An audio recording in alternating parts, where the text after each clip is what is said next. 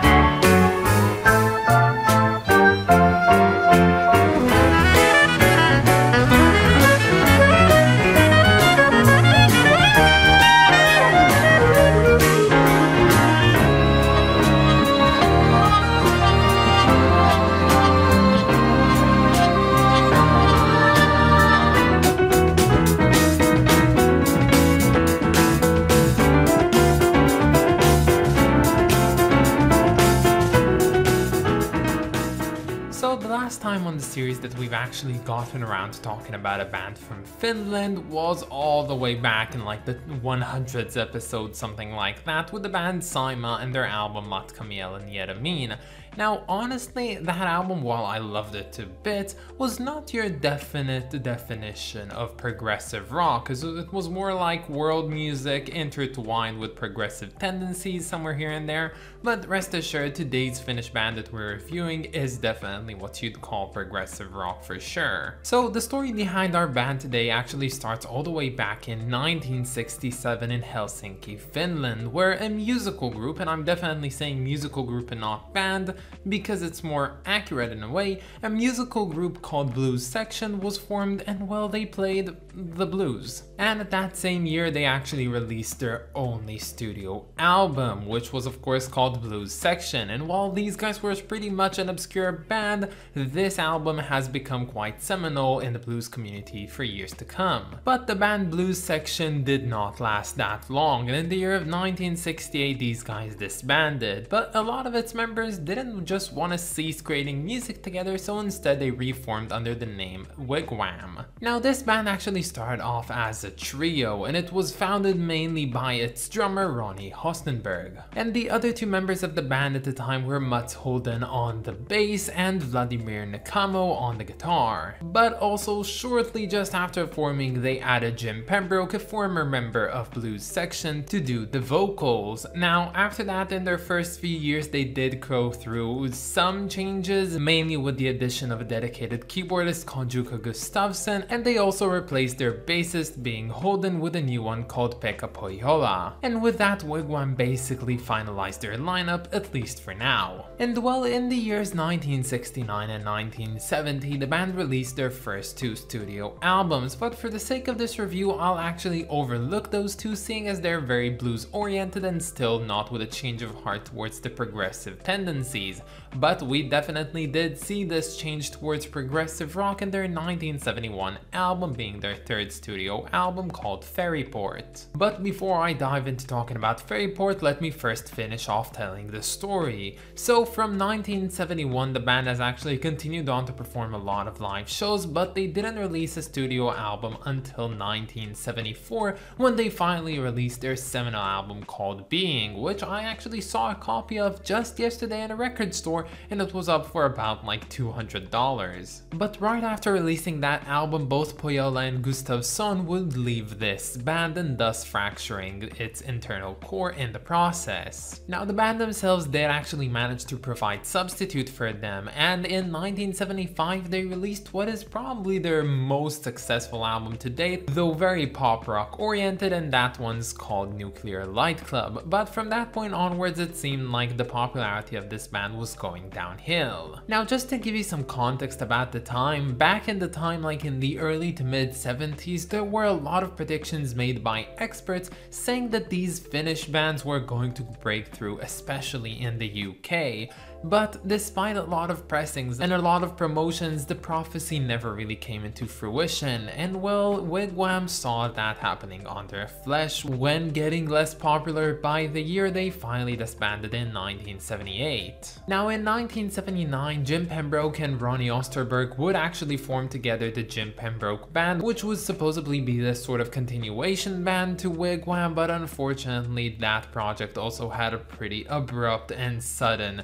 dark dark ending to it when in the year of 1980 Ronnie Osterberg would commit suicide after major health complications that he suffered with his diabetes. Now later on Wigwam would actually reform in the 90s and going into the 2000s these guys have released yet two new albums but of course like many other cases they never really were able to capture the same essence and experience that they had with their music back in the 70s but for what it's worth, their best album to date probably has to be the one we're reviewing today, and that's of course no other than Fairyport. Now the album Fairyport is hands down the most eclectic album I've heard this year so far. You have these very eclectic bands that were going all over the place like Strawbs, maybe some of the Moody Blues, Traffic and like that, but with all of them, despite their songs in one singular album sounding quite different from one another, you can always tell that it's the same band. But with the case of Wigwam, honestly, this album was so freaking eclectic that from song to song, you literally couldn't tell sometimes that this was the same band playing, and I would have taken this one for a compilation album if I didn't know otherwise. But with that being said, I think that the consistency on this album has to be with the overall quality of the music. When oftentimes artists go out of their way to create very varied pieces of music into one album, it usually comes off as some of them being quite strong and some some of them being quite weak, but in this one I was surprised time and time again to see how well the band were able to maintain this sort of quality level throughout all of their songs despite them sounding really different from one another. Now this album opens up with a track called Losing Hold, which funnily enough despite the band being a quartet while making this album, this one sounds exactly like a trio song. Yes, it has the ELP segregation of roles if you might call it, so you have the keyboards, you have the bass, and of course the drums. Where's the guitar? Nobody knows. And speaking about ELP, this song to me sounded quite a lot like ELP and I was thinking to myself, you know what, they're probably just trying to copy their sound. But seeing as this album came out in 1971, now I don't know what to think. And then, as I said, much like this album knows how to do so excellently, the album changes completely with the next track called Lost Without a Word. This one is a guitar plus piano plus vocals rock ballad. It doesn't sound anything like its predecessor and honestly I have no idea what to say about it except for the fact that it's just really good. Now I wouldn't be going over all the tracks on this album but just to exemplify the eclecticness of this one I'll give you some examples. So we have the title track of Fairyport which to me I would categorize it something like symphonic R&B, a very cool mix of sound but something very unexpected indeed. Cuff Cuff the country psychologist is just out there. It's very jazz fusiony. And again, these guys were able to master jazz fusion, the R&B, the blues, everything that's in between. I honestly don't know how they're doing it. And lastly, my third example has to be Hot Mice. Now, if you didn't catch on it already, this is some sort of an homage, not sort of a parody, but actually more making or paying some respects to the music of Frank Zappa. Of course, I'm saying this like Frank was dead, but he definitely wasn't back at the time. But it just really sounds cool. And the fact that they were able to achieve all of these very different sounds in one album, make them all sound great, is definitely why you should go ahead and check this album. Now, before I move on with this review, let me change my tone completely, much like this album knows how to do. And well, I'll state the obvious, mainly for anyone who already knows this album. The production on here is absolute shit. This album is produced so freaking badly. Instruments sound like they're being puked out, they're half-assedly played, but they're actually being played good, you just don't hear the good playing in most of the times, and especially in those very loud tracks, like Losing Hold. Literally the drums are just cut in the middle, they're spliced in different places because they can't seem to go through the compression to some extent, and honestly it was pretty painful. I will admit that I was able to get over it when listening to this album, but I think that it had a lot to do with the fact that song got a bit quieter, milder towards the end, and in a way that helped the production quality sound better, if that's even a logical thing to say. But I also have another gripe with this album. You see, this one, despite coming out in 1971 and contrary to expectations, is actually an hour long. Yes, it is an hour long, and well, they actually divided this album into four sides, meaning two LPs, and the reason for it is I'm not entirely sure. The last piece on this album is way longer than all the rest. It's about 18 minutes long and it's basically just an improvisation that the band did in one nightclub in Helsinki in like 1970 or 1971 and it's just useless. The sound on it, if I was speaking about production quality, just take shit production quality, put it together with like recording the band performing with a micro, like a single microphone from the other side of the room, it sounds so freaking bad. I have no idea why you'd want this on the album, and honestly, thinking about it, if you had just omitted that, you'd be left with an album of about 42 minutes long, and then you could have put it on one singular album, so I just simply don't get this decision. But here's the thing, while I dislike the last piece a lot because of its irrelevancy and the overall sound quality, I don't think that it's that bad and I'm gonna do something which I never thought I would do.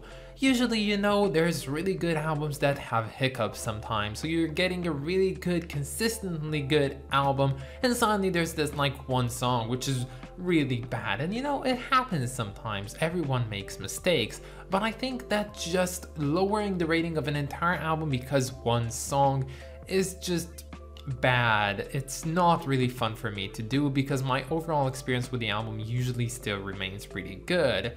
And despite this one being 18 minutes long, I'm just gonna omit it entirely. I'm just gonna forget about it, I'll think of it as like the forbidden side, you just don't flip over to the D side, and I'm just gonna look at this album for its first three sides, which are definitely consistently great. So yeah, to conclude this, I find it somewhat funny at times. Usually when I talk about bands like Traffic or Family and I say what they did back in 1971, and I'm like, okay, this is just your very average blues, but people are like saying, you know, they've really gone out of the water here. They're really tried and experimented and it was groundbreaking for the time. And I'm like, okay, maybe this was definitely groundbreaking for the time.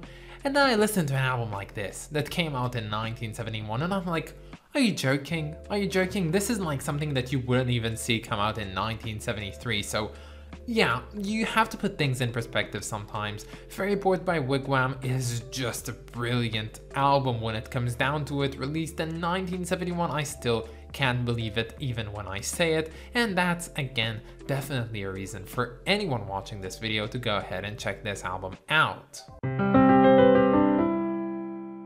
So personally, I'm not too fond of this cover, but I think that I can let it slide. I do believe that there's a really interesting idea behind the cover, and whatever the idea was, it was executed to relative perfection on this one. I cannot think of a better way to create fairies going out of a very curvy castle in the clouds and you've got the fairies spelling out the name of the, the album and then you have I don't know, I just think that it has a really interesting idea. I would have done it otherwise, and it also sins in the way that it has just really specific colors on it. It doesn't go ahead and try and experiment with unique colors. That's something that you see like we saw back with Rare Bird's cover of their debut album as well. So for what it's worth, it's not a bad cover, I just personally don't find it that appealing. So yeah, let me say this, despite the fact that this album sounds like shit, it is so good that it just compensates for it, and for that I'm gonna give it a rating of 8 out of 10. But that's about it guys, I hope that you enjoyed this video and stay tuned for tomorrow because we're gonna be listening to You by Gong. I of course want to thank my lovely supporters over on Patreon, so thank you so much to Clay Wall, Rest of Kings and Lindsay Haycox. You guys are just the best. And if any of you want to support me over on Patreon, you can find the link down in the description or in my about page. But that's about it guys, have a wonderful day and I'll catch you all tomorrow. Bye guys.